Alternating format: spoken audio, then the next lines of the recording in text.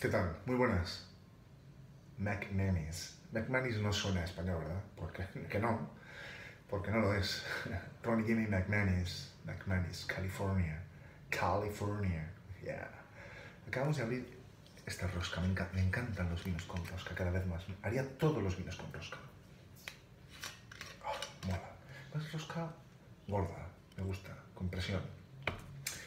Nos hemos ido a California hoy, California, como Californication, ¿os acordáis que sería más dura?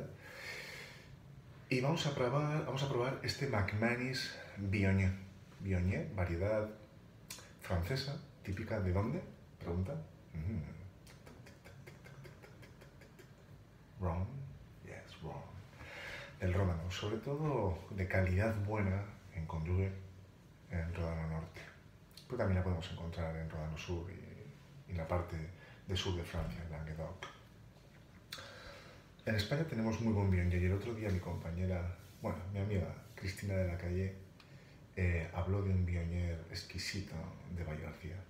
Pero hoy nos vamos a ir a California.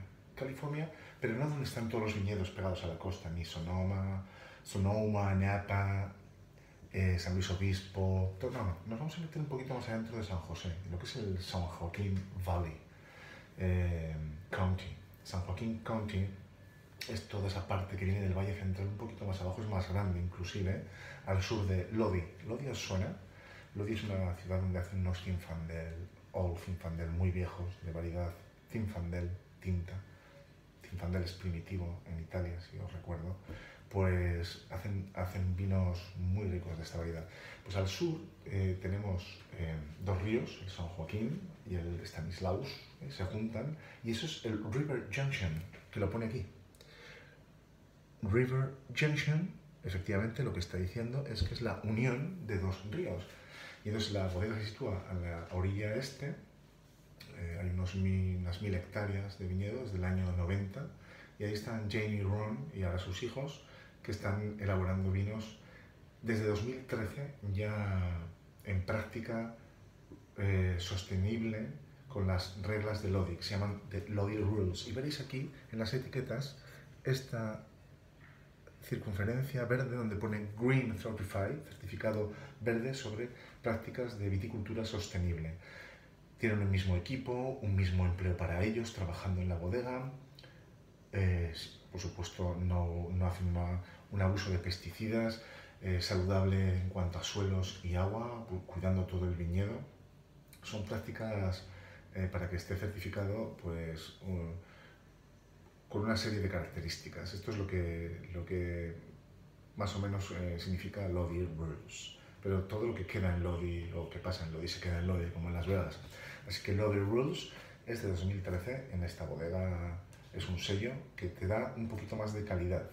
Suponiendo que desde el año ya eh, 90, bueno, 97, que es cuando empiezan a tener ya viñedos y empiezan a practicar esta familia, estas reglas, pues eh, se dedicaron a hacer vinos mm, de mayor calidad. En estos viñedos, eh, aunque plantan Viognier, también tienen más variedades. Pinot Gris, Pinot Noir, tienen Chardonnay, tienen Muscat, tienen bastante. Damos cuenta que estamos hablando de mil hectáreas. Aunque en River Junction hablamos de 1300 eh, acres, que no es tanto. En eso, pues quizás de los más pequeños de California. Eh, para, para esta zona que estamos en este AVA.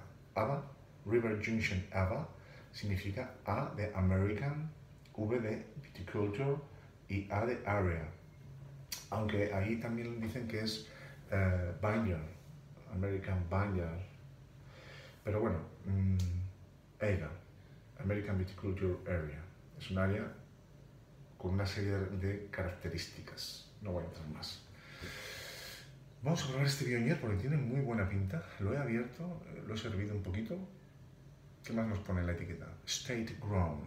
Pues que crece todo en state. State es eh, la bodega en sí. Todo, todo el estado de la bodega. ¿Vale? River Junction, California. Porque es un AVA, tiene que poner California en la etiqueta. Y certificado sostenible. Cinco generaciones. Toda esa información la sacamos de la etiqueta. 13 grados y medio de alcohol. Viognier, alcohol normalmente tirando hacia alto, ¿vale? Y acidez también baja, como Gerustraminer, normalmente, ¿eh? Es así la Viognier. pero es muy aromática, aromas de flores blancas como jazmín, luego mucha melocotón, ¿eh? también fruta de hueso y mm, algo de, de mm, albaricoque, mm, pera. Vamos a ver cómo se comporta este californiano, ¿no? McManus. Ahora os enseño lo que voy a cocinar. Me encanta decir McManus.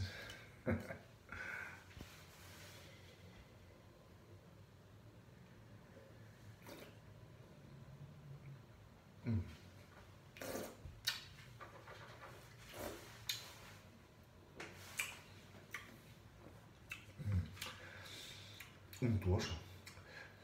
Seguro que tiene trabajo de Elías porque se nota cremosidad en la boca. No tiene casi acidez. Tiene el alcohol que tira muy bien integrado porque no quema en la boca, pero tira a notarse calidez. tiene cuerpo, mucho cuerpo diría yo, para un vino blanco.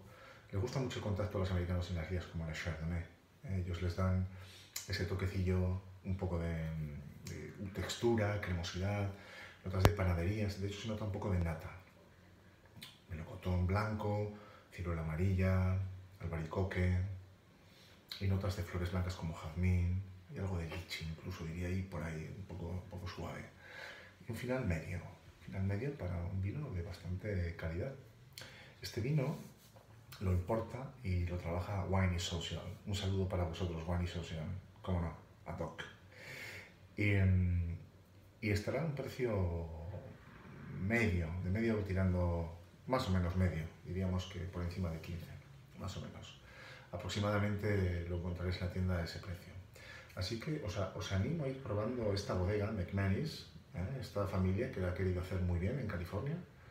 Y mm, si podéis conseguirlo, pues al ataque, siempre. vamos a ver qué vamos a cocinar. Hoy tenemos verduritas bastantes. Calabacín, pimiento verde rojo, puerro, zanahoria, pelaremos la piel, cebolla, un poco de sofrito, gallina blanca, un clásico, y muslitos de pollo, que primero doraremos en la olla con ajito y después lo meteremos a, presión para que todo este, eh, esta verdura le dé eh, jugo y tenga un caldo muy muy rico. Después lo pasaremos un poquito para hacer una textura, como un culis para presentar los muslitos a las nenas. Bueno, por hoy, McMenis, un saludo. Que os vaya bien y confinaos.